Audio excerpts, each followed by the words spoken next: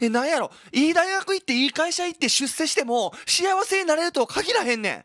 たくさん勉強して資格取って専門スキルを身につけても心が満たされるとは限らへんねん。はい、おはようございます。ライフスキルティーチャーのミスターおかちです。本音で生きるための行動習慣やライフスキルを紹介しています。はい、ということで今日はこんな人いませんか？っていうことです。言いたいことが言えない、嫌われることが怖い、人の目が気になる、怒ることができへん、頼まれると上手に断られない。そのような方のために動画を撮っています。本音で生きられない、幸せではない、自分らしく生きられないっていう人が、この動画を見ていただくことで、ちょっとでも自分らしく生きられるきっかけが見つかると思います。ですので、最後まで聞いてください。えこのチャンネルではとにかく本音で生きるための行動習慣やライフスキルそして自分らしく生きるためのコツやメソッド習慣を紹介しています。よかったらチャンネル登録お願いします。ちょっとボリューム上げましょう。ちょっとねイヤホンの声聞こえないから。ね、自分の声を聞きながらね、やりたいんね。はい。ということで、えミスターおかちはね、えっとね、えっと、33歳の時に、ライフスキルの学校っていうのをね、和歌山で立ち上げて、これまで子供と大人に1万人以上の、え方に、いわゆるライフスキル教育を提供してきました。で、その経験を通じてね、自分らしく生きてる人とか、目が輝いてる人、キラキラして生きてる人、幸せやなと思って生きてる人と、そうでない人には、一つの違いがあったんです。何やと思いますか？その違い。はーい、はーい。自分らしく生きてる人、幸せに生きてる人は、ライフスキルを持っているんです。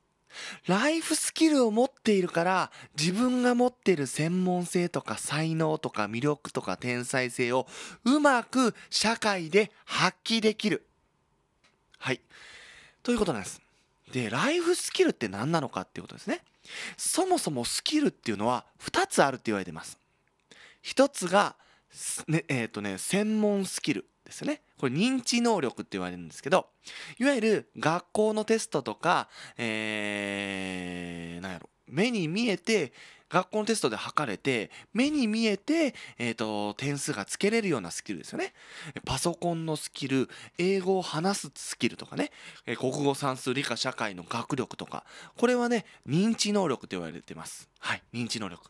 で、もう一つが、ライフスキルなんです。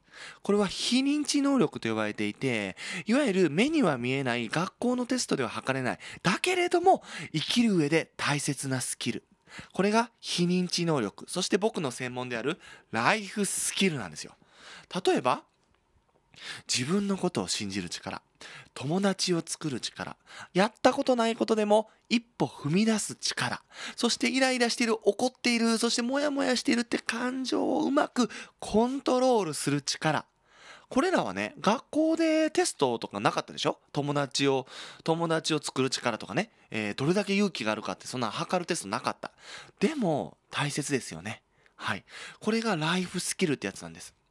で近年の研究で分かったのは自分が持ってる才能とか魅力そして学校で勉強した専門スキルや知識っていうのはライフスキルがないとうまく社会で発揮できないんですよ。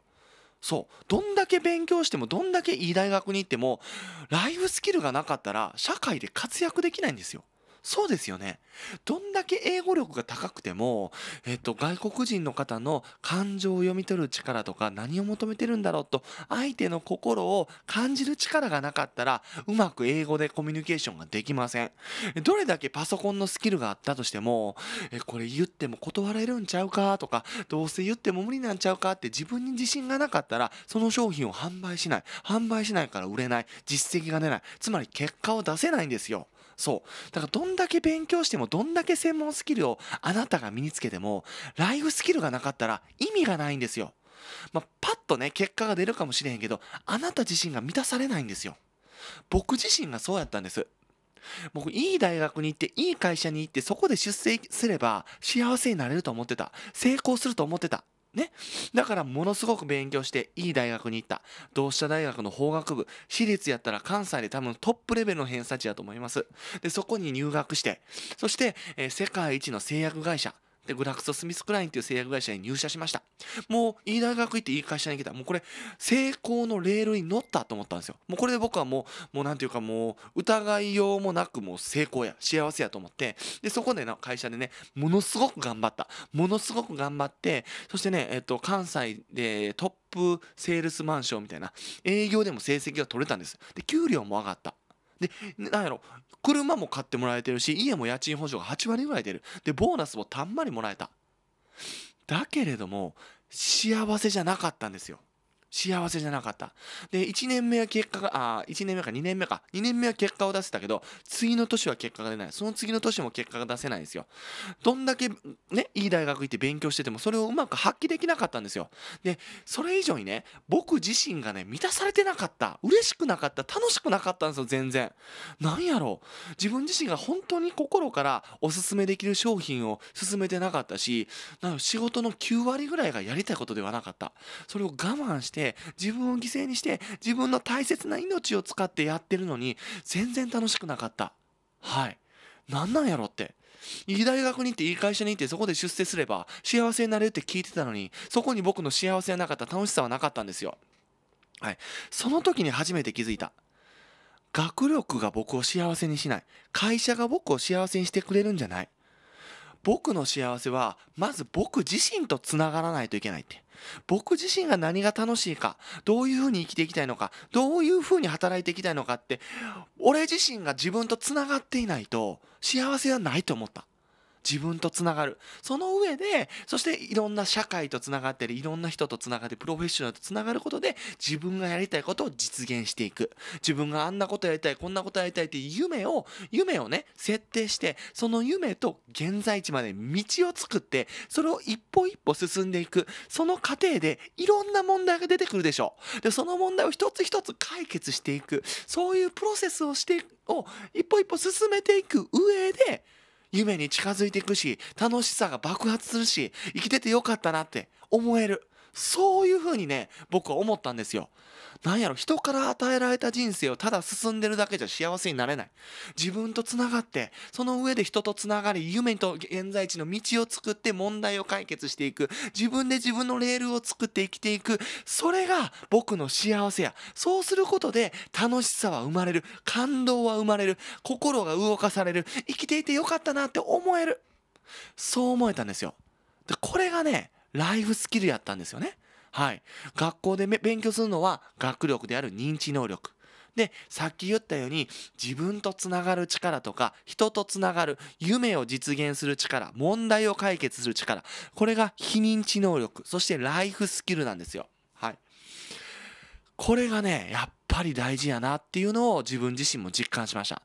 そう。だからですよ。だから僕は、えっと、これからやっていきたいのはもう当時の僕のようにいい大学に行って勉強さえしていたら資格さえ取れればそして学力さえ専門スキルさえ身につければ俺は幸せになれるってそう思っているあなたがそれだけじゃなくてライフスキルを身につけることで自分が本当に持っている能力をその自分が引いたレールの中で生かすことができるんだよっていつでもどこでも自分らしく輝くことができるんだよってそれを伝えたいんですよあなたが持っている力があなたが置かれているその場所で最高に輝いた状態で発揮できるうん。そのために僕はね、ライフスキル教育をあなたに提供したい。そのためにこの YouTube をやっています。一人一人が最高の自分を表現して生まれてきてよかったなって生きていてよかったなってそう思える社会を作りたいんです。はい。ということでね、えこれからもね、このチャンネルではね、ライフスキル教育を、え配信していきたいなと思います、えちょっとでもね、参考になったなとか、え元気が出たなと思う方は、高評価ボタンを押してもらえたらめちゃくちゃ嬉しいです。えー、そして、えっとね、このチャンネルでは、えっと、あなたがあなたらしく生きれるために、最高のあなたを表現して、ワクワク、そして生き生き、毎日過ごしていけるような動画を配信していきたいと思います。よければ、チャンネル登録もお願いします。はい、えー、それではまた会いましょう。バイバーイ。こんな感じでやっていこう。